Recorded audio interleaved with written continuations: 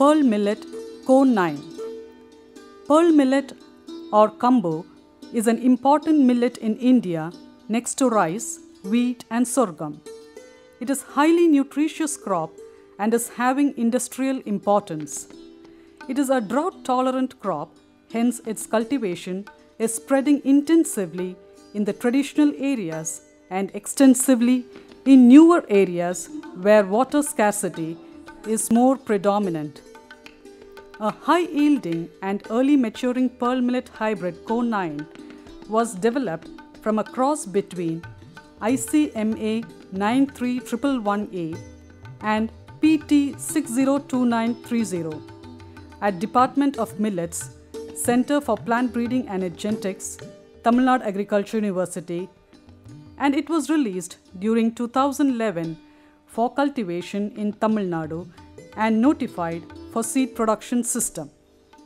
It has been tested extensively in Tamil Nadu and in other states for the past years. It performed well both under rain-fed and irrigated situations in Tamil Nadu. This hybrid is medium in stature, coming to around 160 to 180 centimeters and early in duration and matures in 75 to 80 days. It produces 4 to 6 productive tillers with candle shaped and compact ears. The size of the grain is bold and is grayish yellow in color. The hybrid CO 9 is highly resistant to downy mildew under both normal and sick plot conditions. This new hybrid recorded a mean grain yield of 3728 kilograms per hectare under irrigated conditions and it gives 2707 kilogram per hectare in the rain-fed conditions. It has competitive performance with the private hybrids also.